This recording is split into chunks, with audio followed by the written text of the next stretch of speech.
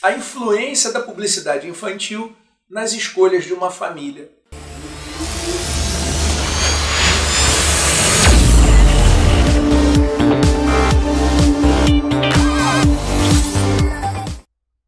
Será que a publicidade voltada para a criança ela pode ser preponderante para a escolha é, de bens de consumo dentro de um lar? Olha, eu estava estudando outro dia, é muito interessante, né? Você tem, imagina que você tem um feixe aqui, né? É, e, e, e na ponta desse feixe você tenha crianças. Na outra ponta desse feixe você tenha os idosos. E aqui no meio do caminho, pessoa que nem é criança, nem é idoso. A publicidade ela começou a, a, a, a se transformar nos últimos anos. A publicidade ela tem que ser apresentada com uma cara de não publicidade. Ela parece uma informação, ela parece uma historinha. A gente já falou de storytelling, a gente já falou de técnicas civilinas de publicidade e o ser humano ele vai criando uma casca mais grossa com esse tipo de situação. Só que existem algumas cascas sociais que são mais frágeis. Quando eu faço uma publicidade para criança, quando eu faço uma publicidade para o idoso, são pessoas que de repente, seja por toda uma vida vivida ou pela, pela nova experiência, eles, eles já não são mais detentores dessa casca que uma pessoa não tem. É, Renato, peraí, uma pessoa não tem, você está contrapondo justamente o que você acabou de dizer. Gente, quando você imagina que tem essa casca, você não tem essa casca, porque você funciona metade razão e metade emoção. E a publicidade ela pode minimizar o seu aspecto racional e ampliar o seu aspecto emocional. Você tem uma falsa sensação de controle dos seus atos. Kant dizia que você só é livre efetivamente se você consegue se libertar. E se você está em casa agora chateado comigo, falando assim, pô, Renato, desculpa, de repente é você que é assim, eu não. Eu tenho controle sobre os meus atos. Parabéns, mas não se tire pela média. A média da nossa população não é como você. A média da nossa população ela é movimentada pelos grandes conglomerados de mídia.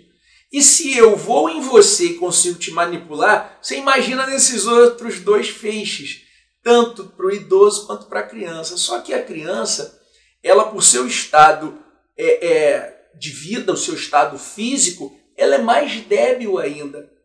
Por que, que ela se encontra num estado mais débil? Porque você não teve tempo para ficar com seu filho, por muitas vezes, e você deixou ele nas mãos de uma grande corporação. Eu dei o nome no outro dia num livro que eu escrevi que se chama Publicidade Digital, eu dei o nome dos quartos das crianças como templos do remorso do ser humano pós-moderno. Não sei se você já viveu a dinâmica que eu já vivi, pelo menos, de sair de manhã de casa e os meus filhos estarem dormindo e depois eu voltar e eles estarem dormindo. O ser humano nunca trabalhou tanto, nem nas épocas feudais. Então não é incomum que algumas pessoas, não você, mas que muitas pessoas tentem compensar a ausência com seus filhos através da aquisição de bens materiais.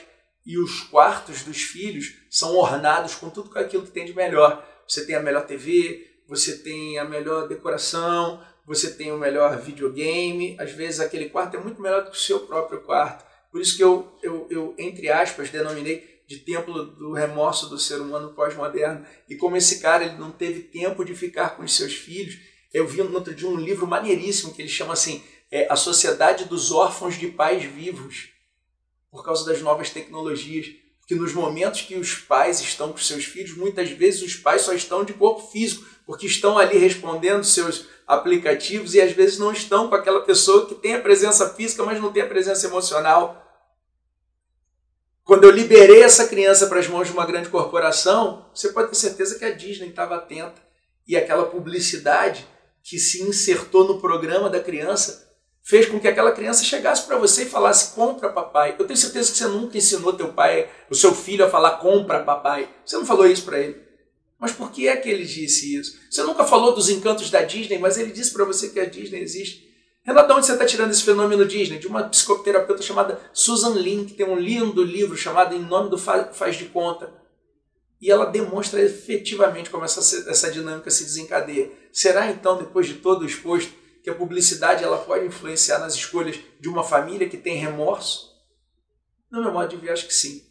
Pelo menos fica esse pensamento para vocês. Se você gostou desse, desse vídeo, se você curtiu ou se você não curtiu, não importa. Deixe seu comentário, isso vai ajudar a gente a estar tá filtrando e pensando nos próximos vídeos. Se você quiser receber muito mais, até assine a nossa lista VIP, faça parte integrante desse grupo. É não remunerado, você vai receber ela aí em casa. Como é que eu faço, Renato, para integrar essa lista VIP, estar tá sempre atento a esses novos, novos é, é, é, rumos que o direito vem tomando? Olha aqui, ó, tá aqui embaixo. Entre no www.renato.tv.br receba muito mais informações. Um grande abraço e até a próxima.